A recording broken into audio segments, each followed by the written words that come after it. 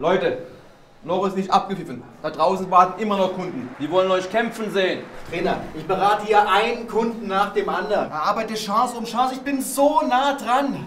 Da sind trotzdem noch Freiräume im Finanzkonzept. Die musst du schließen. Kannst auch mal eine steile Vorlage spielen. Gerade diese lassen unsere Kunden jubeln. Leute, das ist ein Heimspiel. Und es ist noch nicht vorbei. Geht raus und kämpft für eure Kunden. Ihr seid Sparkasse.